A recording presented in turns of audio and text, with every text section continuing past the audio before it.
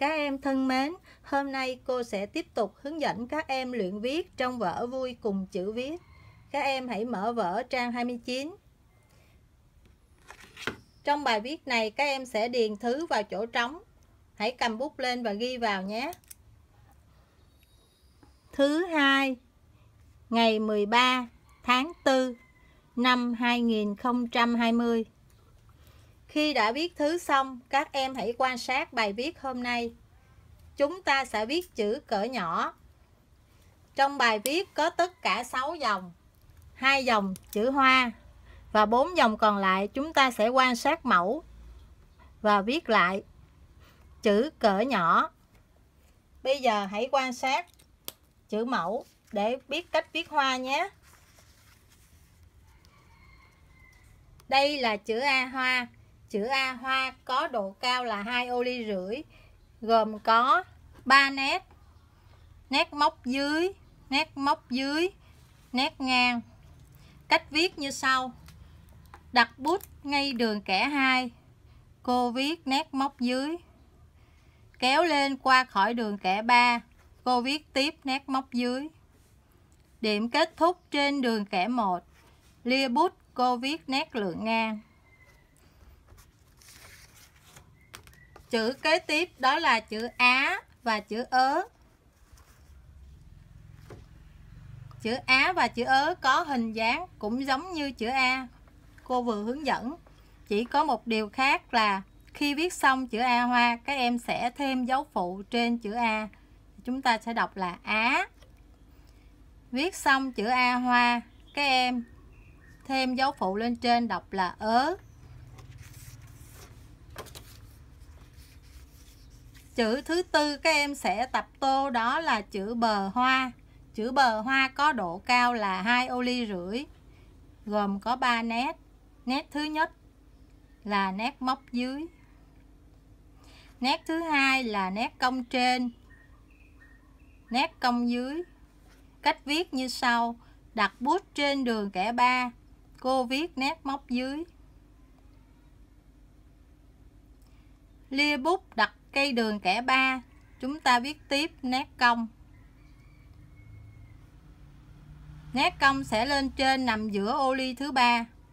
Sau đó vòng xuống, chạm vào nét móc, tạo thành một nét thắt nhỏ, rồi tiếp tục viết tiếp nét cong thứ hai, điểm kết thúc dưới đường kẻ 2. Cô vừa hướng dẫn xong chữ bờ hoa. Các em đã quan sát và biết rõ độ cao cách viết các chữ hoa. Các em sẽ nhìn vào vở và chúng ta sẽ tập tô. Dòng thứ nhất, hai chữ A hoa. ba chữ Á hoa. Dòng thứ hai các em tô lại hai chữ ớ, ba chữ bờ.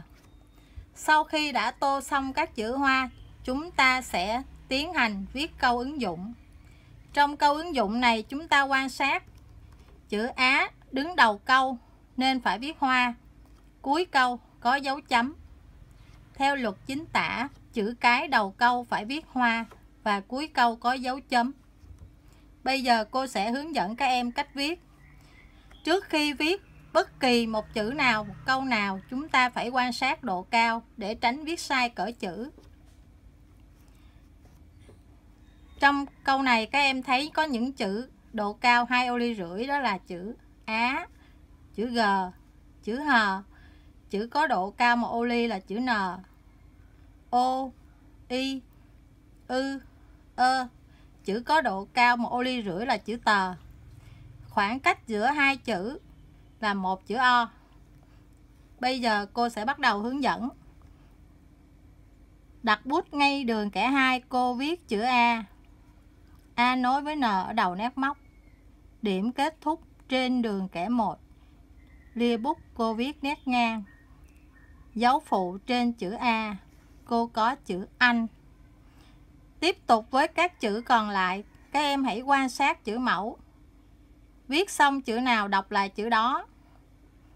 Anh, trong, nồi, ngồi, trong, hướng.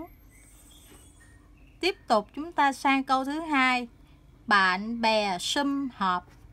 ở câu này người ta đã viết sẵn chữ bờ hoa, các em sẽ tô lại. Rồi viết tiếp vần an. Chúng ta có chữ bạn. Cách một chữ o, viết tiếp. Bè. Cách một chữ o. Sum Hợp. khi đã viết xong một câu, các em nhớ đọc lại để kiểm tra xem chữ của mình vừa viết có giống như chữ mẫu chưa. Khi đã viết đúng rồi, các em sẽ xuống dòng thứ hai và chúng ta viết lại y như trên. Bạn nào giỏi sẽ viết thêm cho cô một câu nữa. Cô vừa hướng dẫn các em cách tô chữ hoa và cách viết chữ hoa vào câu ứng dụng các em phải nắm rõ luật chính tả, chữ cái đầu câu phải viết hoa và cuối câu có dấu chấm. Cô hy vọng sẽ nhận được nhiều bài viết đẹp của các em. Chào tạm biệt các em nhé.